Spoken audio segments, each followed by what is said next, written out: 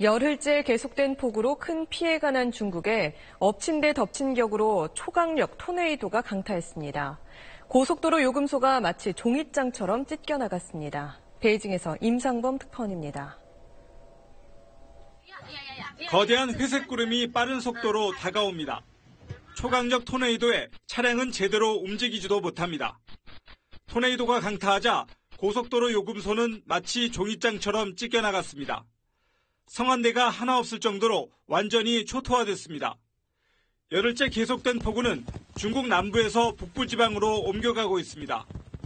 랴오닝성과 허베이성의 주요 도시들은 물바다로 변했습니다. 수만 명이 고립됐고 상사태도 속출했습니다.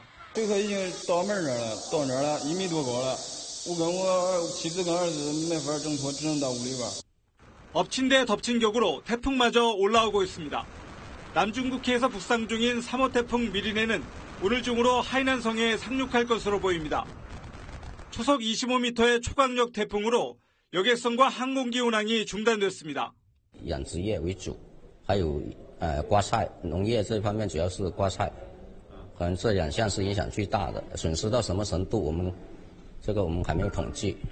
올여름 중국을 강타한 집중호우로 300여 명이 사망하거나 실종됐고 1,500만 명의 이재민이 발생했습니다.